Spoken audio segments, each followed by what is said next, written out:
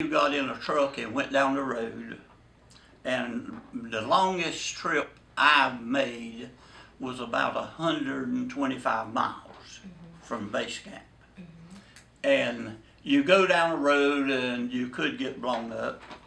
Uh, I've seen trucks with drums of fuel on them, and they get blowed up, and it blows up the road, and they didn't have they would take and find rounds that didn't explode or whatever they stole or whatever. And they'd run a line to it and they fired it with like old timey way. That, uh, we call them command detonated mines.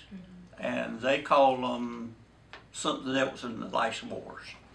Uh, but it, it- you don't know. Uh, uh, one, one, one time, we I done been on that road that morning, come back that afternoon, and Papa San was on his two wheel scooter, Who's Papa and he hit those rocks that the engineers had dumped into that crater, and Mama San was sitting on the back, and she had that little uh, pants on and a little two piece dress.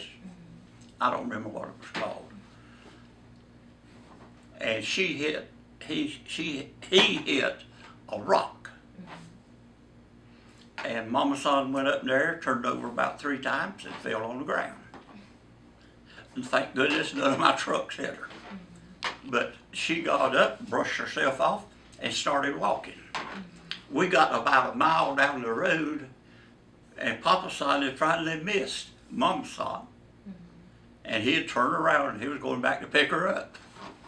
I always thought that was neat.